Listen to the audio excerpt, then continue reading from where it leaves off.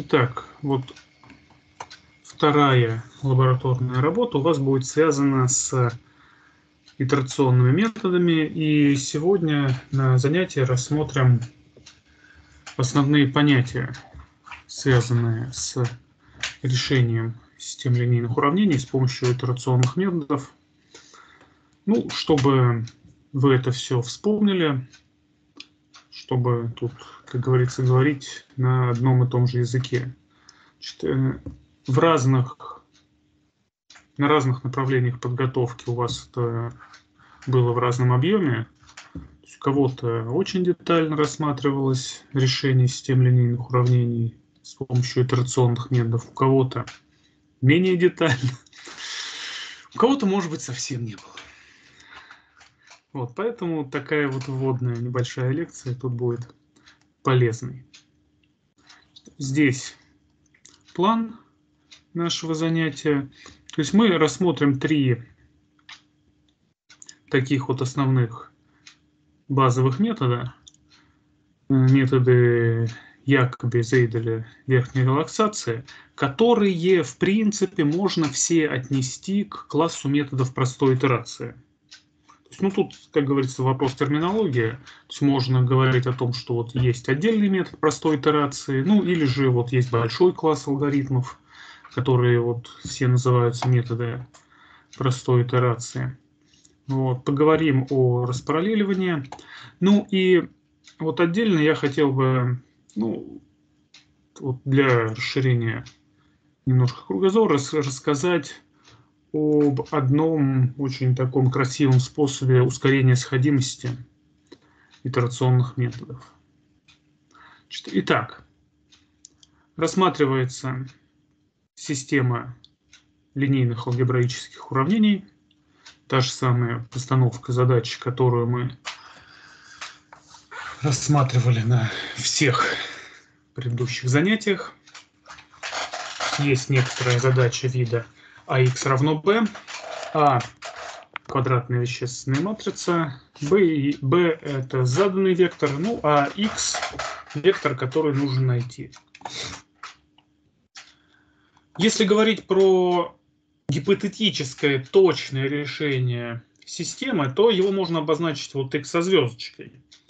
И можно также сказать, что методы которые мы рассматривали на прошлых занятиях, любой из этих методов, ЛУ разложения, разложение Халецкого, методы прогонки, редукция, в предположении, что все вычисления проводятся без ошибок округления, точно, они дадут нам точное решение системы уравнений.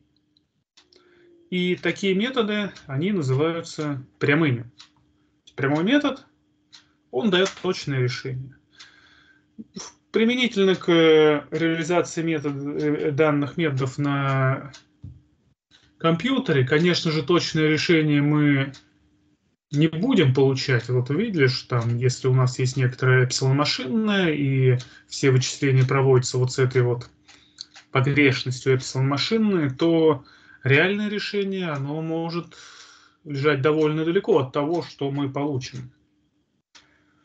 Но если предположить, что система решается в целых числах, или же, если предположить, что мы используем какой-то специальный тип данных, типа рациональное число, и вычисление в рациональных числах проводится, то тогда решение будет точным. Вот мы сейчас рассматриваем совершенно другой класс методов, итерационные методы, которые заранее для которых заранее известно, что эти методы дают приближенное решение задачи. То есть у прямого метода после выполнения некоторого числа операций, например, там, как n в кубе, там, 2 трети n в кубе для метода Гаусса, или там, 8n для, для прогонки, мы получаем точное решение. Здесь же метод генерирует некоторую последовательность векторов xs. которая где-то в пределе может сходиться, а может и не сходиться к точному решению. Ну и если такая последовательность сходится, то есть предел нормы вектора xs минус x со звездочкой равен нулю, и это выполняется для любого начального приближения, для любого стартового вектора x0, то тогда итерационный метод называется сходящимся. То есть вот эта вот последовательность, она начинается с некоторого стартового вектора x0. И если для любого такого вектора в пределе, в бесконечности мы получаем точное решение x со звездочкой, то говорят, что метод сходится. Конечно, на практике при реализации мы не можем делать вот такое бесконечное количество итераций, получать бесконечную последовательность векторов. Вот этот вот итерационный процесс надо где-то остановить. Существует несколько критериев остановки метода. Давайте вот начнем тут с последнего, он самый простой. Вот есть ресурс на проведение n итераций. Вот их выполнили и остановились. Смотрим, какое решение получилось на последнем n шаге. Вот эта постановка, она на практике весьма часто возникает. То есть нет возможности добиваться какой-то высокой точности, а есть только ограниченный во времени ресурс. То есть можно провести там 100 или 1000 итераций и все. Но если задача какая-то хорошая, например, итерации быстро проводятся, требует не очень много времени, то тогда можно использовать вот один из двух критериев установки по точности. Первый критерий, он регулирует изменение, вернее не регулирует, а следит, следит за изменением нашего текущего приближения. Если ST приближение не сильно отличается от предыдущего S-1 приближения, то есть мы сделали один шаг метода, но ушли от предыдущего приближения не очень далеко, а вот на величину ε1, вернее, на величину меньшую, чем ε1, тогда метод останавливается. То есть новая итерация не дает изменения, большого изменения текущего решения. Можно здесь использовать другой критерий установки. Вот традиционное обозначение R используется для невязки. То есть, если вот x со звездочкой это точное решение, и если мы вот сюда подставим x со звездочкой, то мы получим 0, так как x со звездочкой решение точное. А xs это решение приближенное, мы вот сюда подставляем xs и получаем какой-то не нулевой вектор который называется невязкой.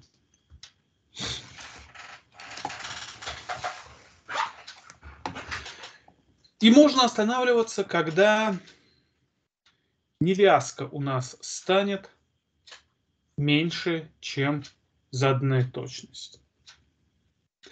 Вот, в принципе, эти два критерия, они связаны. Вот можно тут некими преобразованиями как-то вот свести один к другому. Вот. Понятно, что проверить вот такой вот критерий, его э, проверка такого критерия, она менее трудоемкая. Здесь одна лишь проверка вот этого критерия, она требует умножения матрицы на вектор, а на x. А здесь всего лишь вычисление разности векторов. Вот, поэтому как бы, вот, более такой э, понятный, более практический критерий это первый. Далее. Вообще говоря, матрица А, она может быть любая. Произвольная квадратная вещественная матрица. Вот. Однако, вот, да, и есть итерационные методы, которые предназначены для решения вот систем линейных уравнений с произвольной матрицей. Но вот пока в рамках нашего сегодняшнего разговора мы будем предполагать, что наша матрица А, матрица системы линейных уравнений, она симметричная и положительно определенная. Ну, так же, как мы делали для вот такое же предположение для разложения Халецкого.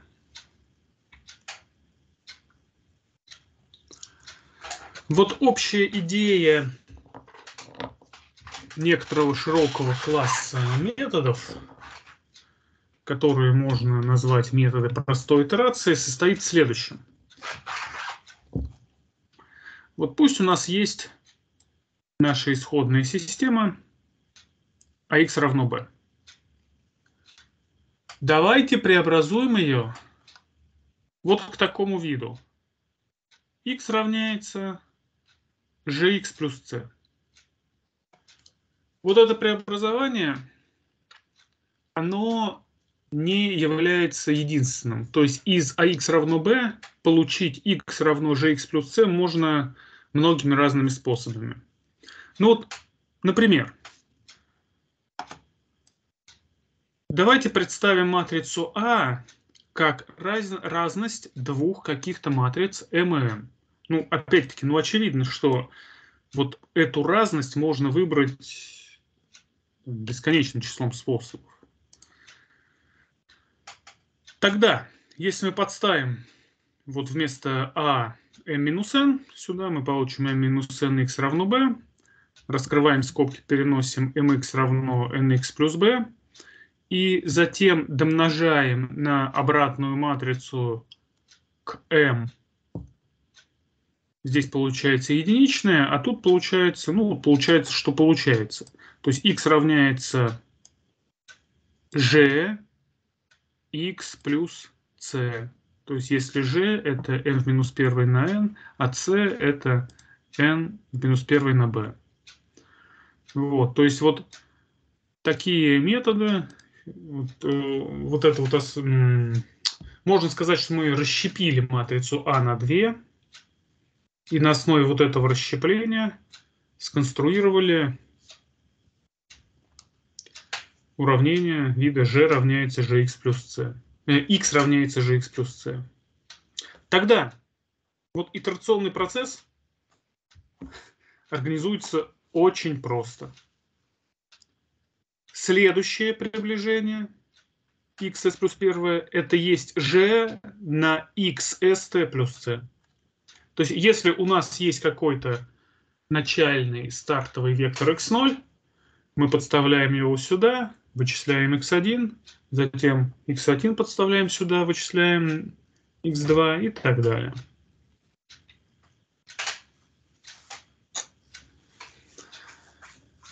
Понятно, что не любое вот такое вот расщепление матрицы А будет вести к хорошему итерационному процессу. Для того, чтобы вот этот метод сходился, сходился к точному решению. Необходимо, чтобы норма матрицы G, норма матрицы перехода, была бы меньше единицы. Ну, в самом деле, ну вот у меня здесь это не написано на слайдах, я, как говорится, обычно тут это на доске выписываю. То есть если мы многократно будем применять вот эту вот формулу для вычисления x, то у нас там накопится g в какой-то степени, в этой степени. Ну и понятно, что если норма матрицы G больше единицы, то у нас э, разность между двумя векторами, вот x s плюс 1 s, она будет нарастать. То есть тут необходимо, чтобы вот эта норма матрицы G была бы меньше единицы. Ну и в случае симметричной положительно определенной матрицы достаточно, чтобы спектральный радиус матрицы G был меньше единицы. Я напомню, что ρ, спектральный радиус матрицы G, это есть максимальное, максимальное собственное число матрицы. Ну, вообще говоря, если G симметричное, то мы должны сказать, что это максимально по модулю собственное число. А если G будет симметричный положительный определенный, то все собственные числа положительные, э, положительные, и это просто максимальное собственное число. Вот, то есть вот можно вывести вот такое вот соотношение, которое вот поясняет вот эти требования.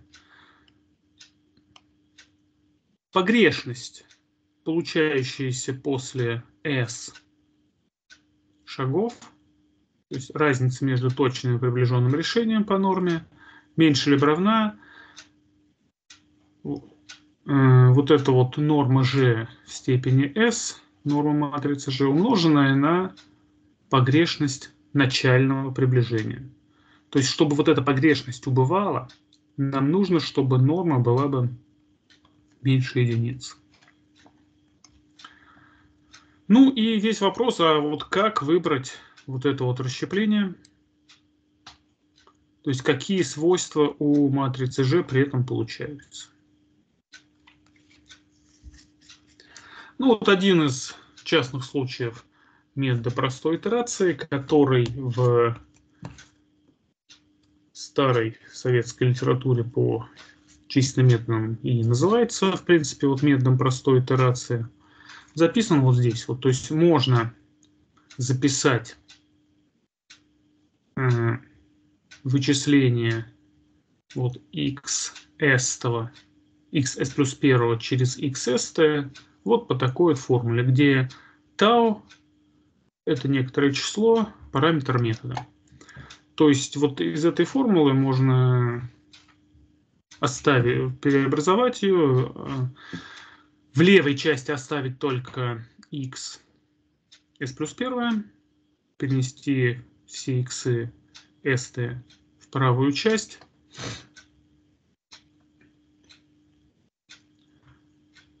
Получается вот такое вот правило для вычисления xs плюс 1 по xs.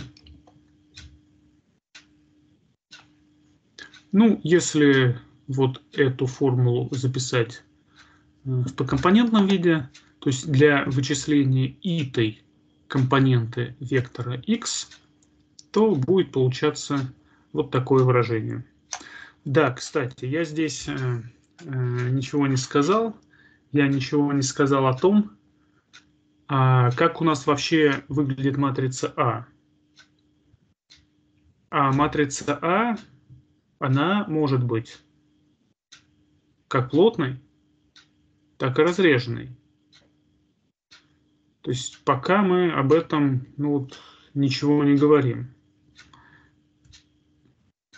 И здесь самое важное достоинство всех итерационных методов в том, что при использовании вот этого метода, ну вот, даже вот, вот, вот если вот так вот его представить в таком вот общем виде, у нас исходная матрица А, ну, она практически здесь не меняется. То есть мы один раз вот вычислили же и работаем. Ну, или же вот в некоторых случаях, как вот тут, вот нам даже и что-то вычислять не нужно, мы делаем вот такую вот запись и фактически работаем с исходной матрицей А. Я в дальнейшем это еще раз скажу, подчеркну, что вот достоинство итерационного метода по сравнению с прямым состоит в том, что матрица системы линейных уравнений, она вообще никак не меняется. Если предположить, что вот эта матрица является плотной размера n на m, то тогда трудоемкость одной итерации метода, она порядка n в квадрате. Давайте вспомним, что мы говорили о трудоемкости прямых методов. Ну вот если вспомнить трудоемкость метода Халецкого, то это 1 третья, 1 треть n куба. За 1 треть n куба мы получим точное решение. А здесь каждая итерация дает n квадрате. Отсюда сразу видно, собственно, область применения, область применения итерационных методов. Вот предположим, что нам не надо получить, получать решение, ну вот как-то очень-очень точно. Вот с точностью double, с точностью 15 знаков после запятой. Например, ну, ну нам 6 достаточно или 4 знаков. То есть у нас исходные данные, например, имеют большую погрешность. Поэтому там, если в исходных данных погрешность во втором знаке, смысл решать систему с точностью 15 знаков после запятой. Так вот, итерационный метод, он даст эту точность буквально за несколько итераций. И за счет этого мы существенно сэкономим количество операций. Некоторые, свой, некоторые сведения о сходимости данного метода. Ну, вот тут я их приведу как факт, без какого-либо доказательства. Эти все доказательства, они есть в литературе, здесь они нам не особо нужны, но сами вот эти понятия, они характеризуют как бы свойства задачи, свойства матрицы, которые определяют скорость сходимости итерационного метода. Ну, вот на примере метода простой итерации. Если у нас матрица А симметричная и положительно определенная, то тогда вот такой вот итерационный метод, вот в такой вот форме, он сходится, если параметр тау принадлежит интервалу от 0 до лямбда макс. Где лямбда макс это максимальное собственное число матрицы. Если у нас есть интервал параметров, и для любого интервала, для любого значения из этого интервала метод сходится, то возникает вопрос об оптимальном параметре. Ну и можно доказать, можно вывести, что оптимальным значением параметра tau, которое обеспечивает наилучшую сходимость, будет вот такое вот значение. 2 поделенное на лямбда мин плюс лямбда макс.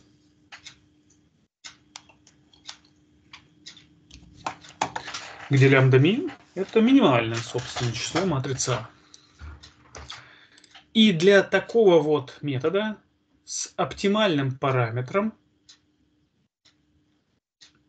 известна следующая оценка скорости его сходимости.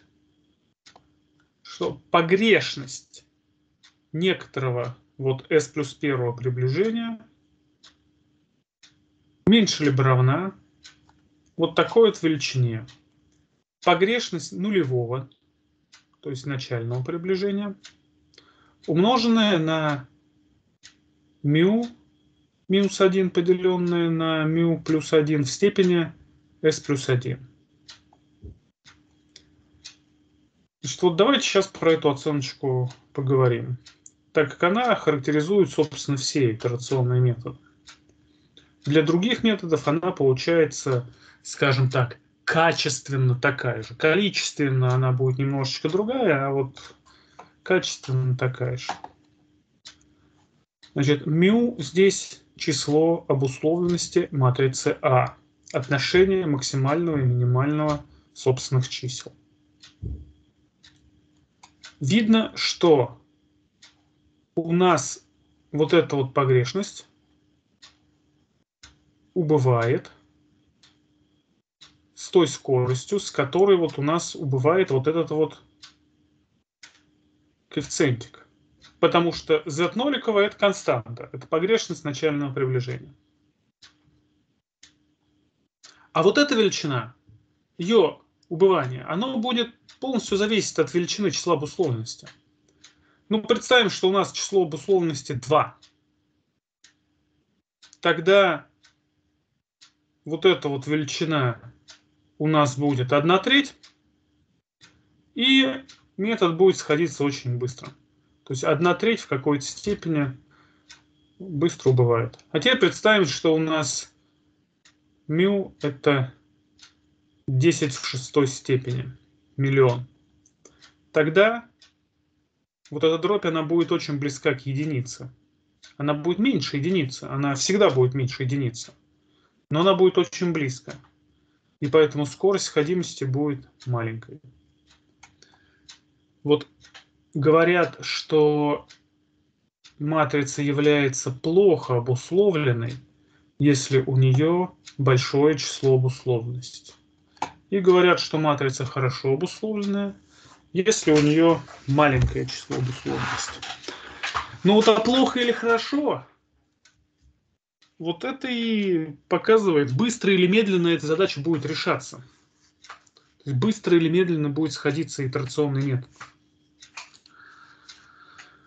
То есть определяющее влияние на сходимость любого итерационного метода будет оказывать число обусловленности матрицы А.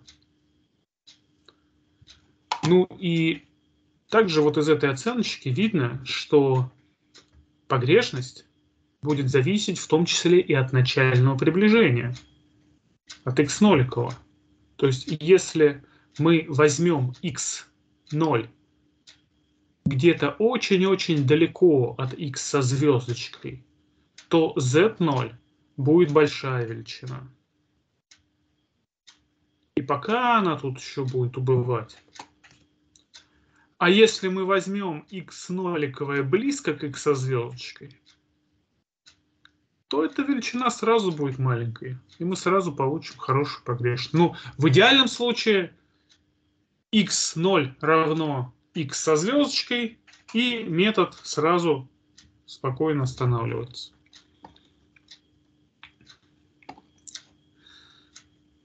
Вот.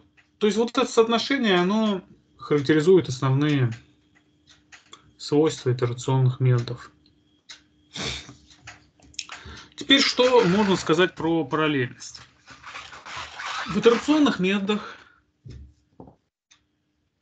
каждое выполнение всех итераций осуществляется последовательно, и результат очередной итерации используется при выполнении следующей.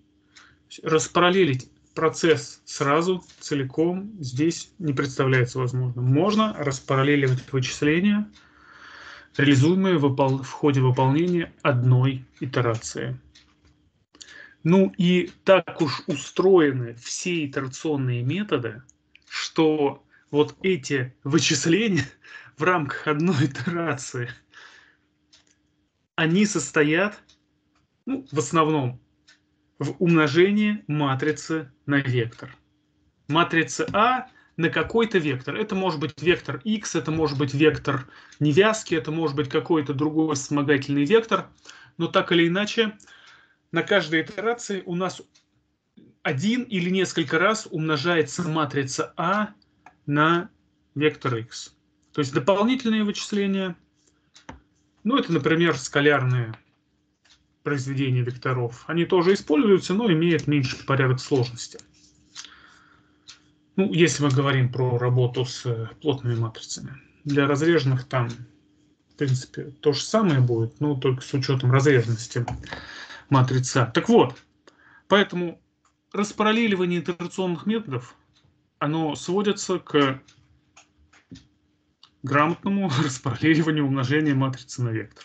Ну, естественно, внутри правильного алгоритма. То есть, если у нас есть некоторый последовательный итерационный метод, то в нем обязательно есть некий цикл, который выполняется до выполнения условий остановки, а внутри этого цикла сидит умножение матрицы на вектор. И вот его мы распараллеливаем. То есть вот это вот умножение матрицы на вектор, вот тут вот, AXS, ну и распараллеливается. Поэтому применяем тот вот известный алгоритм умножения матрицы на вектор. А эта операция в силу особенностей хранения матрицы, она распараллеливается очень хорошо.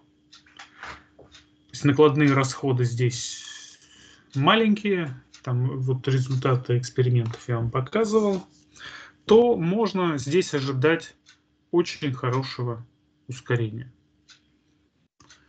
Вычисления, которые имеют меньший порядок сложности, но они либо в однопоточном режиме выполняются, ну их тоже можно распараллелить.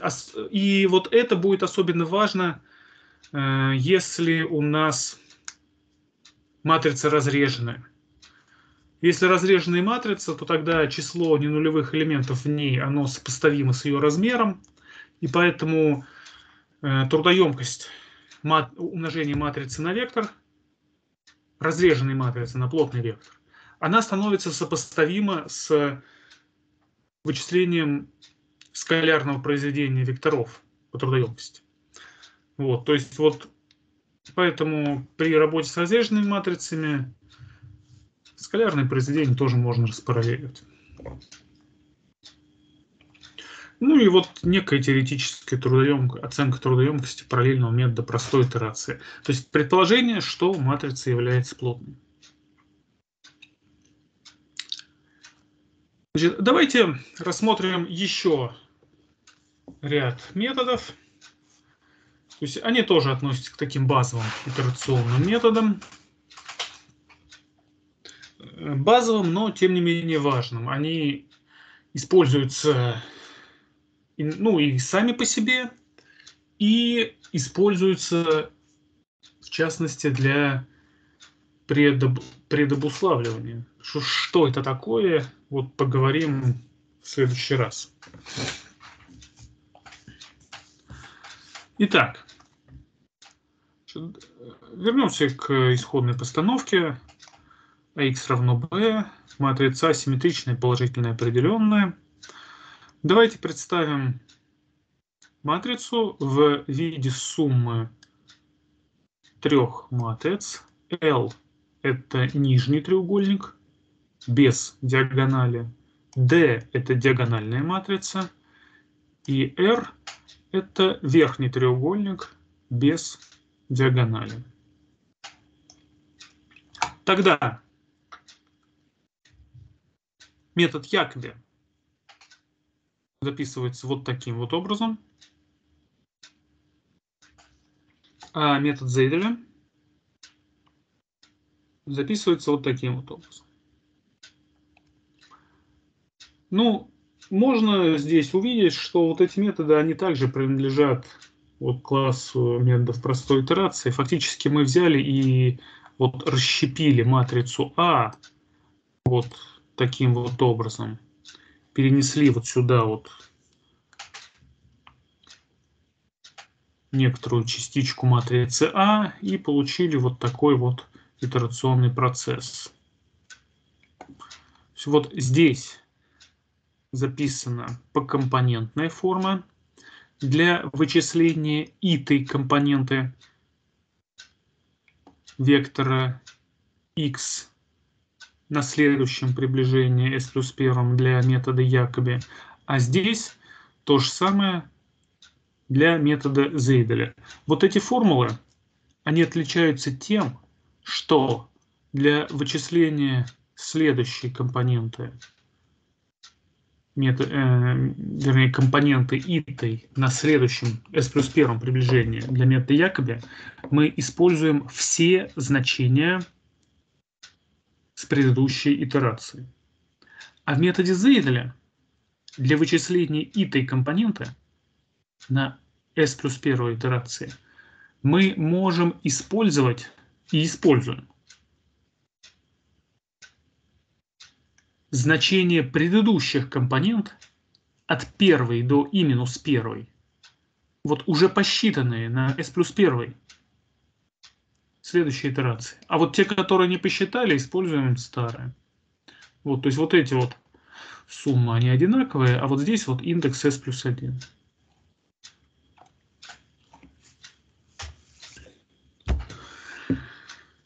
Известно, что метод Якоби будет сходящимся, если матрица А является положительно определенной со строгим диагональным преобладанием. А метод Зейделя для его сходимости требуется, чтобы матрица А просто была положительно определенной. Ну вот из этой формы можно записать матрицы G. Ну, я еще раз напомню, что такое матрица G. Матрица G это вот матрица перехода, вот такая вот. Перехода от xs к xs плюс первому. Для, так, вот, для методов Якоби и Зейделя. Матрица перехода G для Якоби будет вот такая.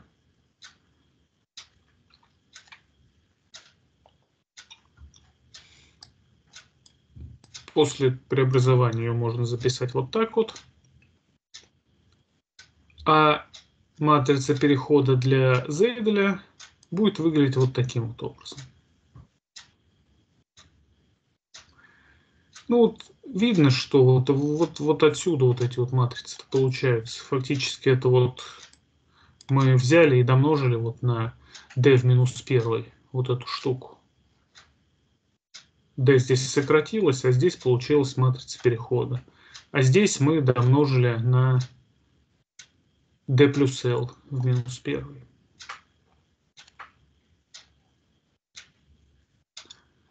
Ну вот эти оба метода, они, как видите, простые, в том смысле, что их реализация здесь не очень сложная, она вот опять-таки сводится к вычислению, умножению матрицы на вектор, ну вот с некоторыми тут вот особенностями.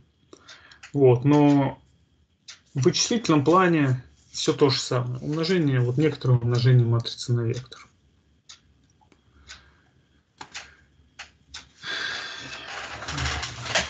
Дальнейшим развитием методов, метода Зейделя является метод верхней релаксации – по-английски, в английской литературе он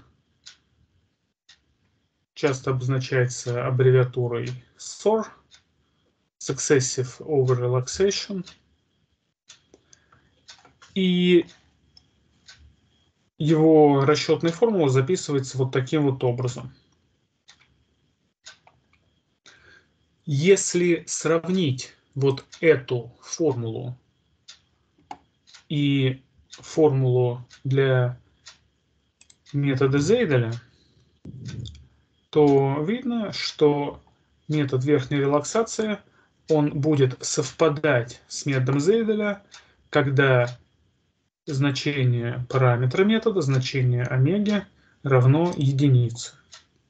Фактически метод Зейделя является частным случаем метода верхней релаксации. Известно, что этот метод будет сходящимся, когда его параметр омега принадлежит интервалу от 0 до 2. Если при этом матрица А является положительно определенной, то это условие является и достаточным. Ну вот из этой формулы можно выписать значение x s плюс 1 в явном виде. На следующем слайде это и будет сделано. Э, вот. Но здесь вот э, пока я хотел бы дать некоторые комментарии по поводу параметра омега. Вообще, в любом методе, в котором у нас возникает некоторый параметр, и у этого параметра есть некоторая область, в которой метод сходится, то возникает задача о выборе наилучшего параметра. Ну вот, иногда такую задачу можно решить точно. Иногда такую задачу можно решить, вернее, ее решить сложно, и можно лишь некоторое такое эвристическое решение предложить.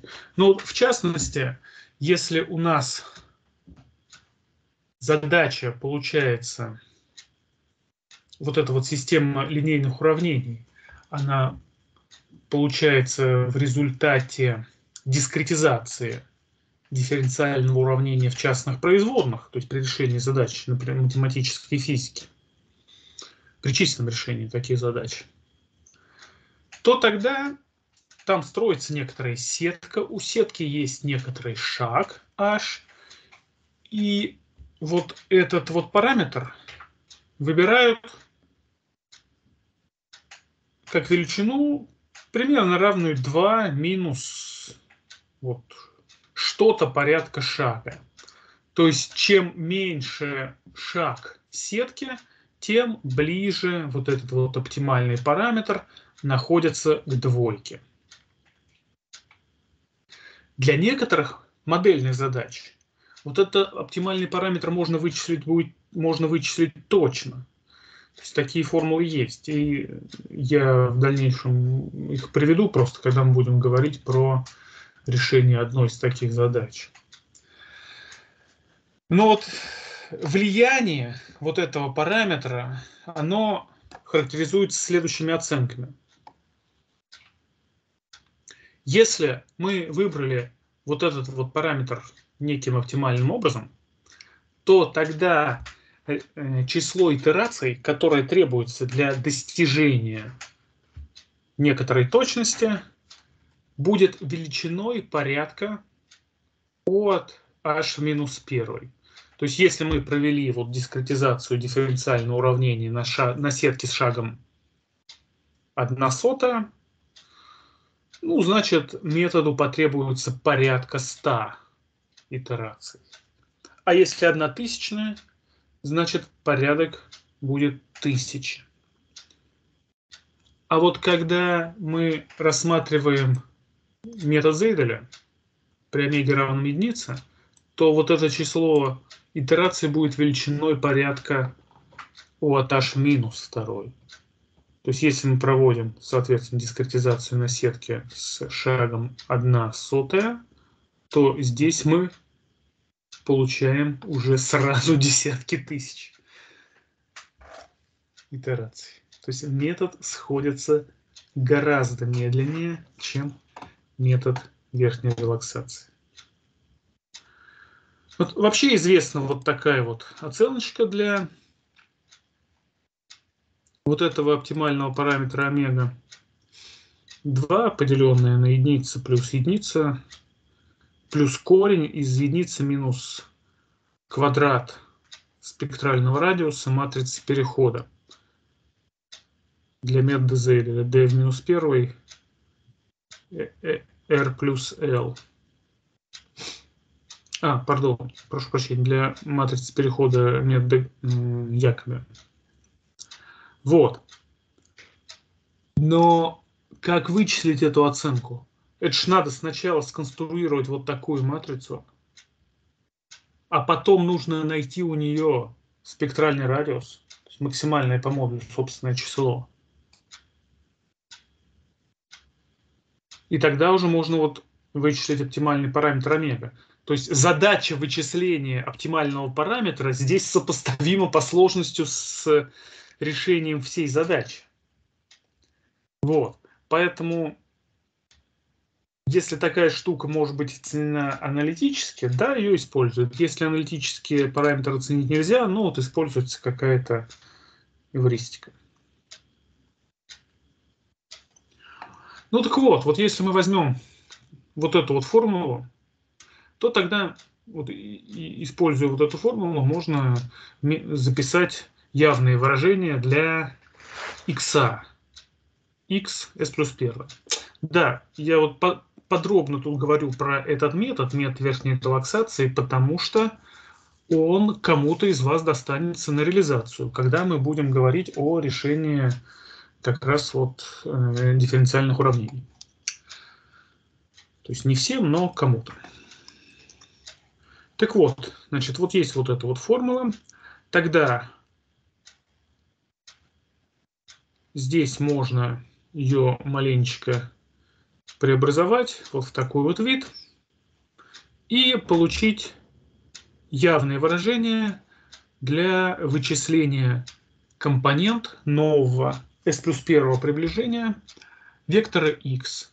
Вот смотрите, здесь так же, как и в методе Зейделя, при вычислении итой компоненты мы используем вот эти значения старые, то есть с текущей итерации, а вот эти значения с номерами от 1 до и минус 1 новые, вот те, которые мы только что посчитали. Ну а в целом метод опять-таки сводится к многократному умножению матрицы на вектор. То есть вот, вот, вот эти суммы, ну это вот умножение нижнего треугольника на вектор и умножение верхнего треугольника на вектор. Можно точно так же аккуратно выписать матрицу перехода для метода верхней релаксации. Она будет выглядеть вот таким вот образом. Ну и опять-таки видно, что если мы омегу подставим сюда единичку, вот здесь вот сократится, вот здесь будут единички, и вот это вот g сор будет равна g Зейделя. Известно, что вот такая матрица, она будет несимметричной. В некоторых случаях это не важно абсолютно, но вот а для некоторых случаев симметричность очень важна матрица перехода. То есть, ну, вот это вот как факт, тут отметим. То есть общая трудоемкость здесь одной итерации, так же, как и у всех итерационных методов, это величина порядка n в квадрате. И, соответственно, на некоторое количество L итераций нам требуется L на n в квадрате. То есть если нам нужно получить решение с грубой точностью, мы тратим небольшое число итераций и получаем это решение гораздо быстрее, чем решение прямым методом.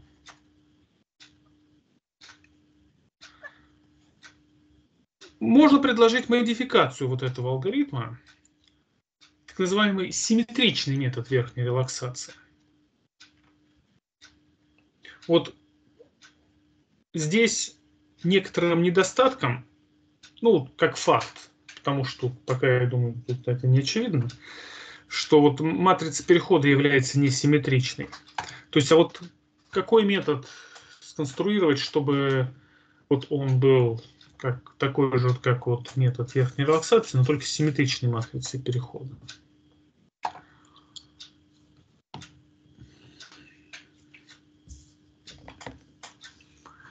Можно сделать следующее. На каждом шаге метода мы можем вычислять сначала некоторые промежуточное решение xs плюс 1 вторая. И компоненты вот этого решения вычислять в прямом порядке. Вот именно так, как вот здесь. Начиная с первой. Начиная с первой компоненты вот по этой формуле. А затем, зная вот это промежуточное решение, находим x s плюс 1 в обратном порядке, начиная с последней компоненты. То есть вот формулы соответствуют, формулы получаются вот такие. Ну, здесь я прошу прощения, здесь опечатка, вот тут вот символ U использован, здесь, конечно, должен быть R. Ну и, и, и вот тут тоже U. Это должен быть R, вот right, верхний треугольник, э, правый верхний треугольник. Вот, то есть вот формула для вычисления xs плюс 1 вторая, ну это вот та же самая та же самая формула, вот такая вот. А формула для вычисления xs плюс первая, ну, здесь вот мы L на R заменили. И фактически начали считать не с правого, с левого верхнего угла, не с компонента x1, а с правого нижнего, с компонента xs. То есть у нас xs плюс 1 считается за два прохода. Сверху вниз и снизу вверх. И получается вот такая вот большая длинная матрица перехода. И оказывается, оказывается, что вот эта вот страшная матрица, она является симметричной. Вот такое чередование проходов, оно дает больше итераций, чем в исходном методе с оптимальным параметром. Но для этого метода с симметричной матрицей можно использовать некоторый специальный метод ускорения, ну, называющийся Чебышевским ускорением итерационных методов. Ну вот некоторые промежуточные итоги я подведу. То есть вот базовые методы, которые мы рассмотрели, они так или иначе все сводятся вот к вычис... Э, многократному умножению матрицы на вектор внутри цикла. Вот либо совсем вот такое простое умножение, как в методе простой итерации, либо вот нечто чуть более сложное, как вот в методах методе Зейделя, или вот еще чуть-чуть более сложные, как вот в методе верхней релаксации, но так или иначе это многократное умножение матрицы на вектор.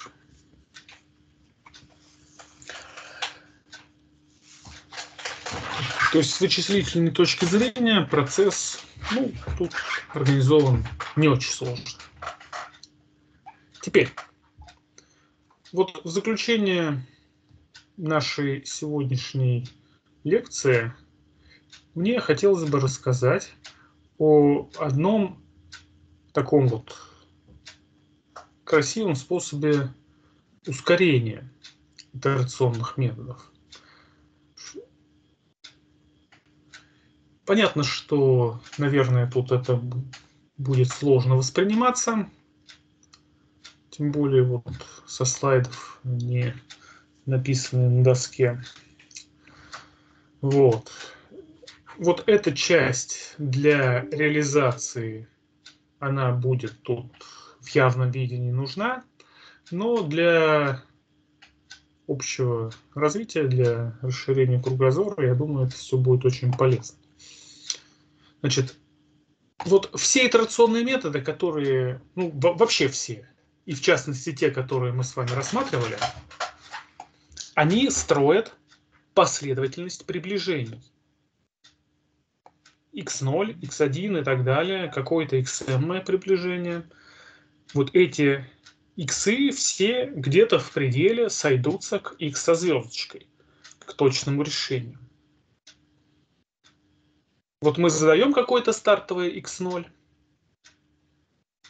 у нас есть какое-то правило, вот есть какая-то матрица G, матрица перехода, и мы поехали вот умножать, начинаем наш итерационный процесс.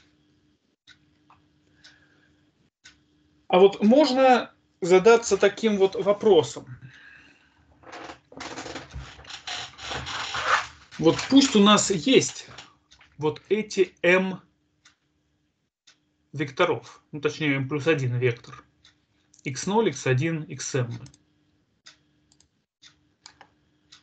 Можно ли построить линейную комбинацию вот этих вот векторов, так, так, такую линейную комбинацию, чтобы вот эта линейная комбинация y, m, она была бы более хорошим приближением, чем x. То есть есть ряд иксов, полученных с помощью итерационного метода. Вот. И можно ли их взять и скомбинировать с некоторыми коэффициентиками альфа так, чтобы было еще лучше? То есть, если такая задача разрешима, ну это замечательно.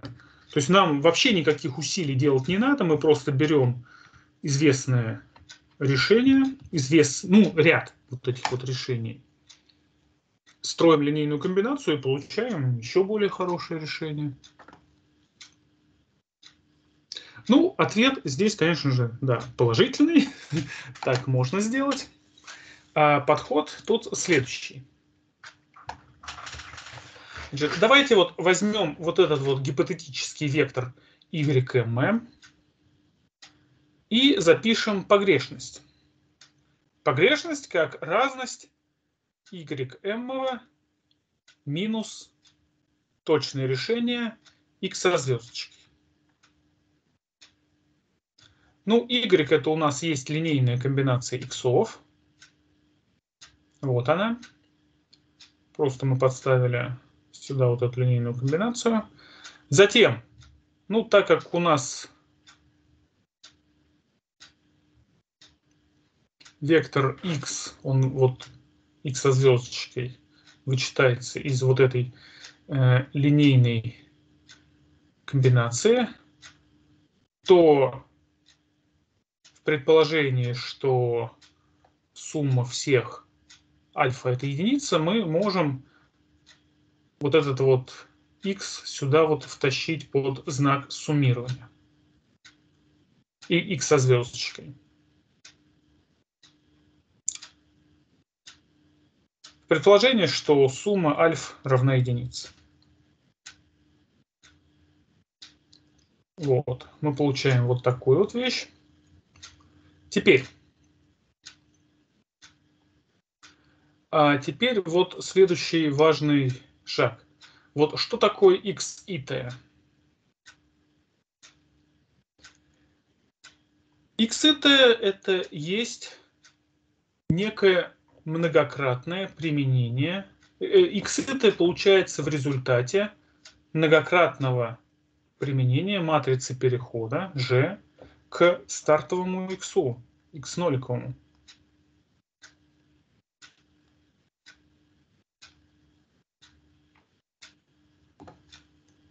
И вот тут вот можно записать это как g и t, вернее g в степени i, то есть многократное умножение матрицы g на x ноликовое. Ну, в самом деле, там x1 это будет там g0, э, вернее g на x0. x2 это g на x1 что равно g в квадрате на x0 и так далее.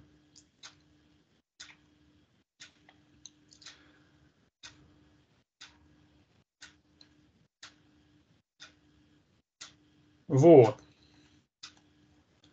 Ну и если мы то же самое сделаем здесь с вектором x, там некоторые там будет сокращение, в общем, и можно вот записать вот такую формулу. Фактически это будет некоторый полином, полином m степени от матрицы G, который записывается вот таким вот образом. То есть альфа – это коэффициенты вот этой вот линейной комбинации, а G – это матрица перехода и в какой-то степени. То есть вот такой вот полином от матрицы G.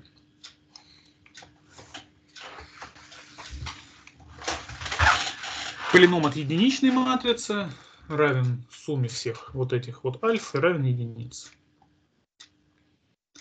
Ну так вот, вопрос о том, что вот эта погрешность погрешность ym минус x, То есть вот мы, вот мы с чего начали, что YM это линейная комбинация вот этих вот иксов. Он сводится к тому, что вот у этого полинома от матрицы G должен быть минимальный спектральный радиус. Точнее, точнее у результирующей матрицы, да? Ведь это же, что значит полином от матрицы? Это мы в конце концов матрицу получим. Вот. Ну и оказывается, что вот этот вот PM от G можно получить, используя так называемые полиномы Чебышева, обладающие многими очень хорошими экстремальными свойствами. То есть вот здесь приведен вид вот этих вот полиномов Чебышева. Первый полином это есть просто единица. Второй полином это есть просто x, а каждый последующий это 2х t m минус 1 минус t m минус 2. То есть, зная два стартовых полинома, мы можем вычислить любой следующий полином. Вот. Оказывается, что вот эти полиномы обладают важным свойством. Это полиномы наименее уклоняющиеся от нуля на отрезке от минус 1 до 1. И, соответственно,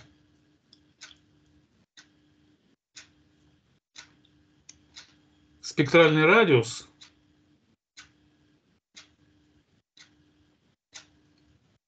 вот такого полинома PM от G, он будет минимальный, если в качестве полинома мы возьмем Чебышевский. Чебышевский полином. То есть мы получим минимальный спектральный радиус среди вот всех возможных матриц. Потому что вот полином Чебышева, он наименее, э, наименьшим образом отклоняется от нуля. И самое важное вот стоит в том, что для того, чтобы посчитать вот этот вот полином, есть вот это вот рекуррентное соотношение. То есть нам нужно для вычисления следующего полинома знать только два предыдущих. Нам не нужно тащить все за собой.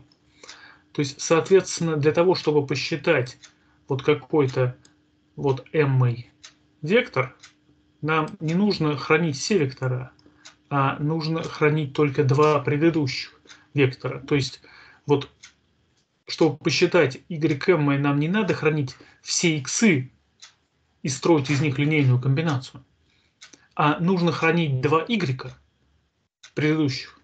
И пересчитывая вот эти y, мы будем строить текущий Y. Я здесь вот тут формулы, конечно же, не вдаюсь. Я думаю, что это очень сложно сейчас осознать. Ну, есть такие вот формулы, которые позволяют посчитать некоторый коэффициент μ Вот так вот. Где ρ это спектральный матри... Э, радиус матрицы G. Нам нужно знать два стартовых числа μ, и дальше мы считаем все остальные μ. И затем вот мы можем считать y. m, зная m-1 и m-2.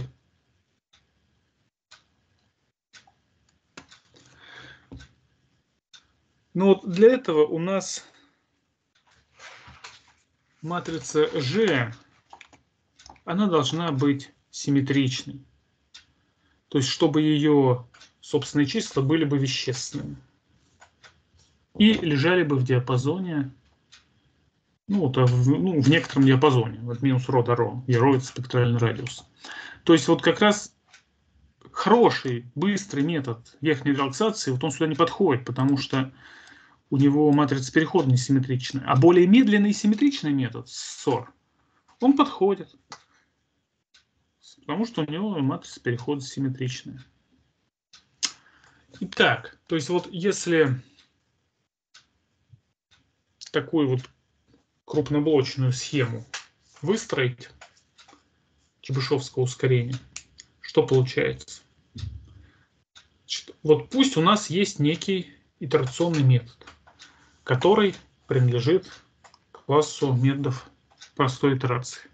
Вот xs плюс 1 равно gxs плюс c. c это какой-то вектор, а g это матрица перехода. Тогда мы можем для начала, для старта процесса взять коэффициент μ0 равный единице, μ1 взять равный ρ. Да, нам придется здесь посчитать спектральный радиус матрицы перехода, от этого тут не уйдешь. Затем взять начальное приближение x0 и y0 взять таким же. Взять начальное приближение x0 и посчитать x1. И вот по этой формуле, ну и сразу присвоить это значение y1. А затем вот по этим формулам, зная два предыдущих μ и два предыдущих y, мы считаем уже вот не x, а y. Вычисляем μ и вычисляем y. То есть вот тут в скобочках, вот здесь вот в скобочках, фактически сидит вот эта вот формула. То есть мы применяем метод простой итерации, вот исходный для y. Это как бы первый полшага. Вот. Получаем какой-то y с чертой. А затем вот его корректируем с помощью вот этих множителей. И оказывается, что такой процесс, вот вроде бы такой сложный, тут вот куча огромных формул, коэффициентов, которые еще надо искать, он работает значительно быстрее. Ну, конечно, при определенных условиях. Например, вот когда матрица же симметричная, когда вот этот вот коэффициент ρ, э, спектральный радиус известен. То есть вот такая расчетная формула, она будет давать более хорошие результаты, метод будет сходиться быстрее. Значит, давайте посмотрим, что здесь получается. Значит, вот какие получаются результаты при использовании вот этих вот методов э, верхней релаксации, симметричной верхней релаксации и с Чебышевским ускорением для некоторых разреженных матриц. То есть вот точнее даже не для разреженных матриц, а для систем уравнений с разреженными матрицами.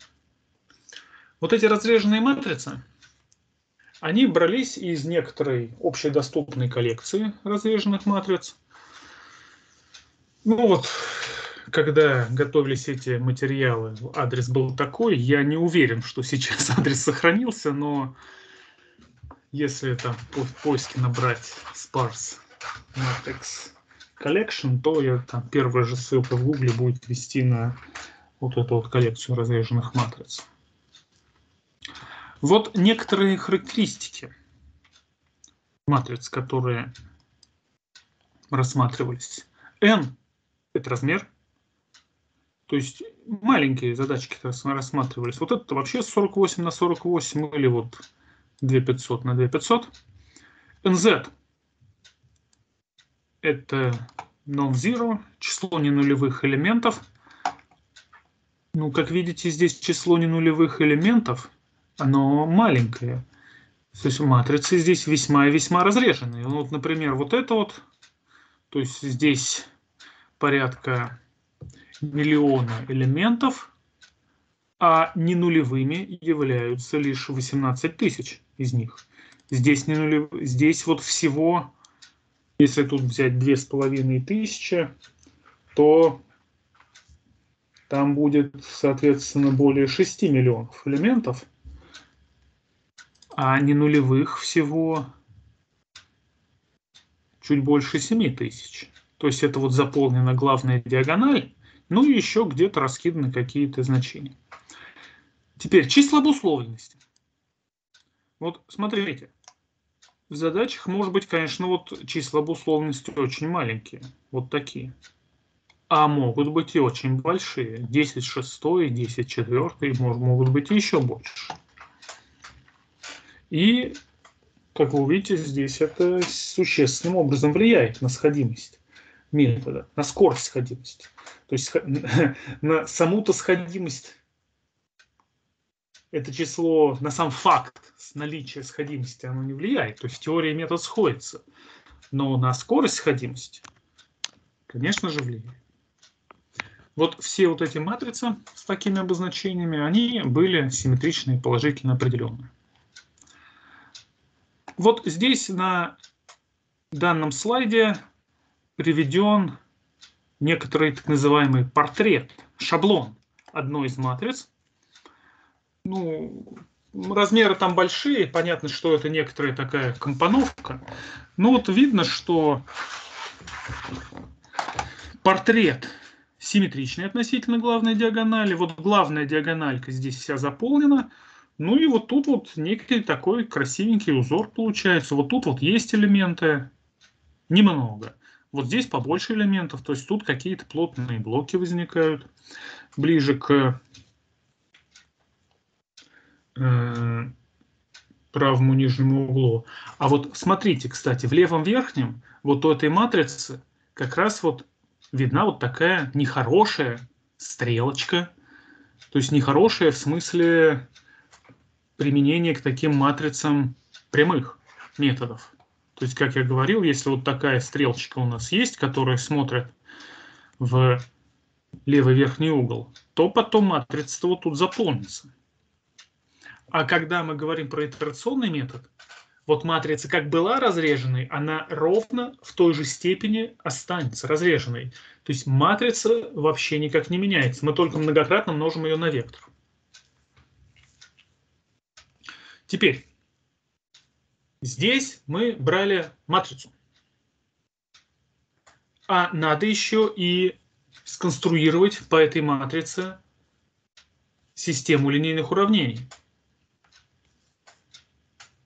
Понятно, что можно взять и записать какой-то вектор b правую часть.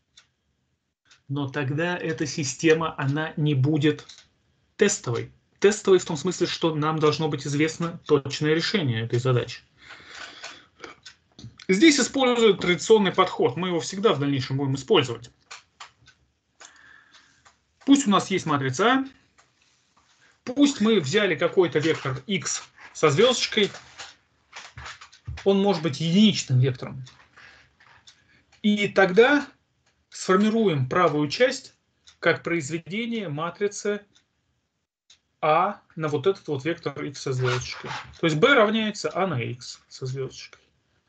А потом забудем на минутку, что мы знаем x со звездочкой, сформируем систему линейных уравнений ax равно b вот с этой правой частью и будем ее решать. То есть мы сконструировали систему уравнений, у которой мы заранее знаем решение. То есть это задача тестовая. Вот такой же принцип конструирования вам пригодится при проверке ваших программ, когда вы будете реализовывать свои итерационные методы. То есть вы берете какую-то матрицу, можете ее заполнить так, как вы считаете нужным. Не обязательно брать ее какую-то вот реальную матрицу с какого-то сайта. Затем по этой матрице вы вычисляете правую часть для какого-то заданного решения и решаете систему уравнений. Далее.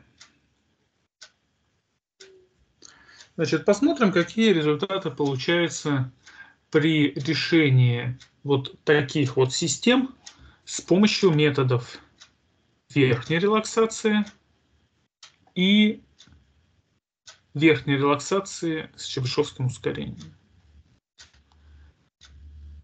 Вот когда у нас задача какая-то произвольная, то, как я говорил, подобрать оптимальные параметры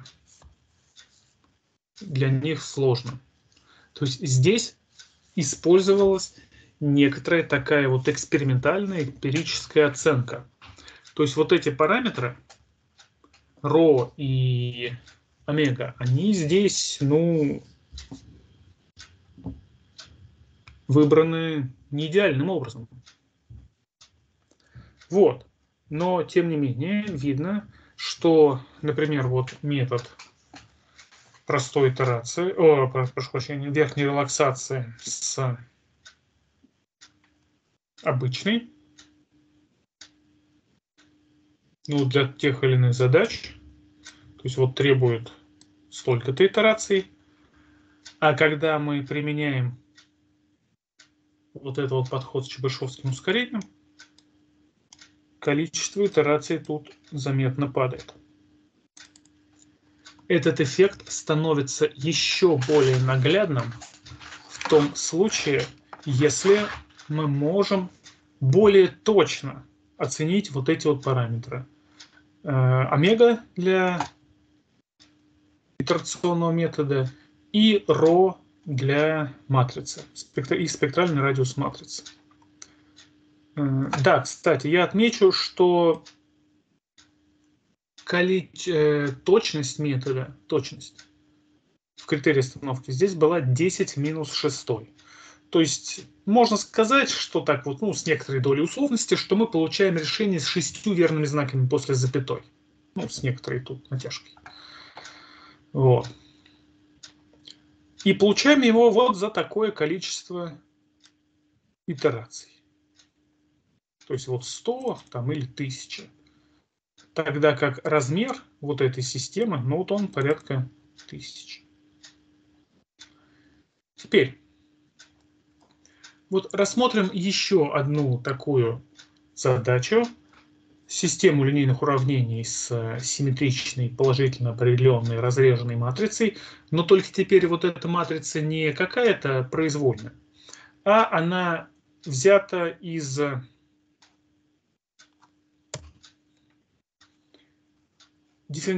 она, она получается в некоторой задаче матфизики при дискретизации дифференциального уравнения в частных производных. Ну, вот эти темы, они тут тесно связаны. Я как, на следующих занятиях тут про так, такие уравнения более подробно скажу. Вот. То есть, пока вот как факт, что мы можем взять вот некоторый дифур и на его основе сконструировать матрицу, сконструировать систему линейных уравнений. И достоинством тут вот является то, что для вот этой вот задачи, возникающей из дифура, все известно. То есть известно оптимальный параметр омега для метода верхней релаксации.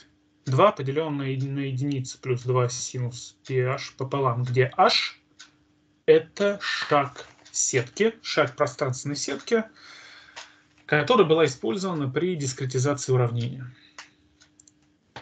И известен спектральный радиус матрицы. Вот он тоже такой формулой задается. Единица минус p h пополам, где вот h это шаг сетки. Данная система линейных уравнений, она имеет вот такой вот пятидиагональный портрет. То есть здесь почти заполнены, вот с некоторыми небольшими пропусками, три диагонали. Главная диагональ, она полностью заполнена. Побочные диагонали вот тут с пропусками. И еще вот тут вот две диагональки. Такая вот пятидиагональная матрица. Вот как, такие вот получаются результаты. То есть точно так же мы использовали данные итерационные методы с точностью в критерии остановки 10 минус 6. n – это размер системы уравнений. То есть у нас здесь получалась вот такая вот система уравнений. Вот тут вот в ней 10 тысяч уравнений, а вот здесь вот 250 тысяч уравнений. Вот тут от, э, отноши, отношение, так, тут, конечно же, квадрат должен быть. Отношение числа неизвестных к n квадрату, степень разреженности матрицы. То есть матрицы в такой задаче очень-очень разреженные. Ну, в самом деле, вот тут вот у нас максимальное количество элементов, отличных от нуля в одной строчке. 5 может быть. Здесь пятидиагональная матрица. А всего элементов, вот если у нас n равно 10 тысяч, у нас получается 10 в 8. То есть у нас получается 50 тысяч ненулевых элементов, а потенциально в матрице 10 в 8 элементов. Вот, значит, здесь приведены параметры Онеги. А вот количество итераций, которые потребовалось методу верхней релаксации для решения этой задачи. Симметричному методу верхней релаксации и симметричному методу верхней релаксации с Чебышевским ускорением. Значит, ну вот даже вот этот метод, он показывает замечательные результаты. Вот большая задача, которая соответствует очень большой сетке, вот нужно порядка нескольких сотен итераций, чтобы найти решение здесь с точностью 10 минус 6. Когда система становится очень большой, ну, число итераций тут увеличивается, конечно же, переваливает за тысячу. Симметричный метод работает хуже он дает большее количество итераций. Но если мы применим здесь вот это вот Чебышевское ускорение, то количество итераций, как вы видите, падает, ну, в нек... ну не, не совсем уж на порядок, но почти в зависимости от задач количество итераций сокращается очень сильно. Еще раз я отмечу, что вот это мы можем сделать только в случае, когда нам известны теоретические оценки для параметров.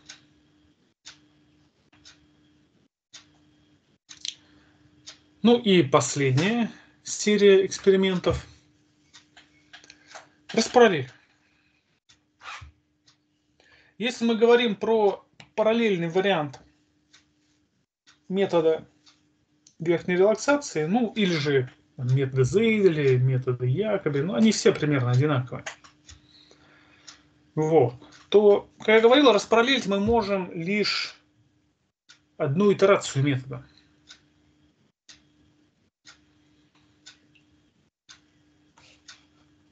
И Фактически это сводится к параллельному вычислению вот этих двух сумм. На каждом шаге метода.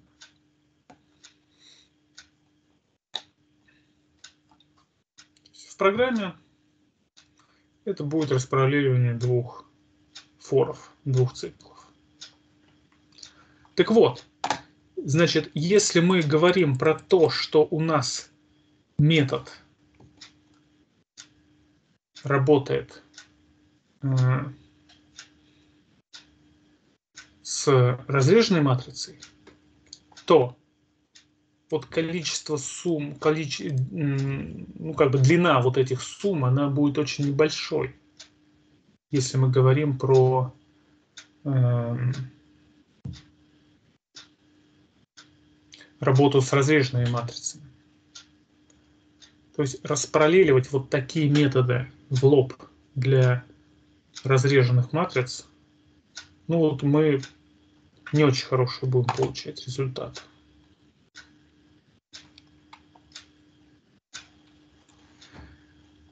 И если у нас матрица плотная, мы решаем задачу с какой-то большой плотной матрицей, то тогда ну, результаты будут более хорошие, более адекватные.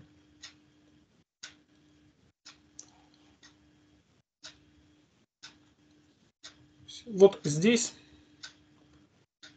приведено ускорение параллельной версии по отношению к однопоточной.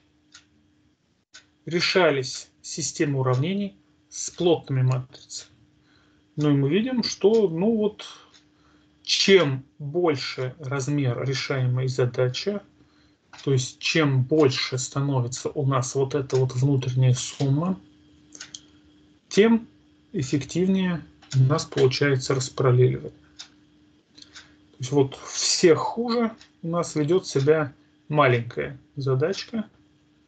Вот, и, соответственно, самое хорошее распараллеливание – наибольшую эффективность вот такой параллельный алгоритм достигает при выполнении, при решении задачи самой большой.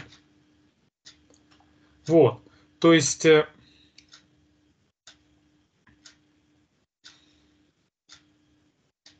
вот эти методы, вот типа верхней релаксации, ZL, они плохо распараллеливаются для разреженных задач. Вот еще раз, потому что мы там параллелям даже не вот приходится параллелить не только вот очередное приближение, а распараллеливание даже вот происходит внутри вычисления компонента очередного приближения. Вот в следующий раз, на следующем занятии мы поговорим про методы типа метода сопряженных градиентов – там вот такого недостатка нет. То есть там базовая операция является умножением матрицы на вектор. И метод показывает хорошую эффективность, хорошая эффективность при распараллеливании.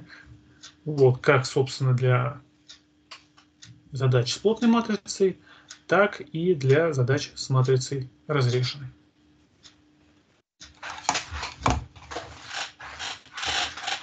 Так, ну, на этом вот тема сегодняшнего занятия у нас тут вот закончена.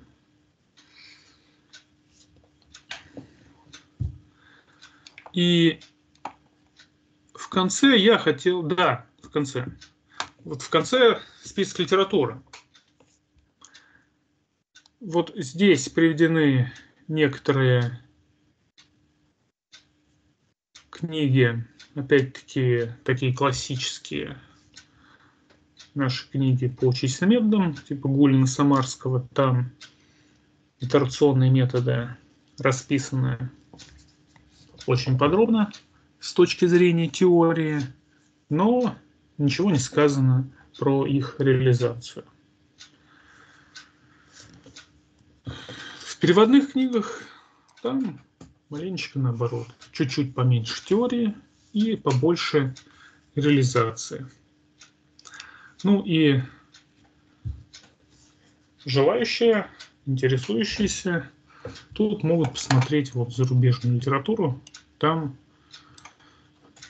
очень подробно все описано, как же вот грамотно, эффективно можно реализовать тот или иной итерационный метод вот, на современных вычислительных системах.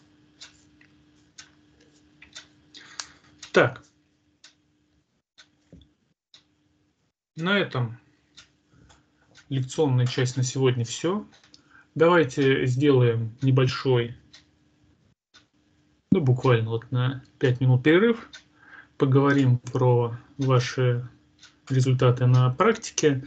И я небольшое такое вот задание сформулирую в качестве такого блиц опроса на сегодня.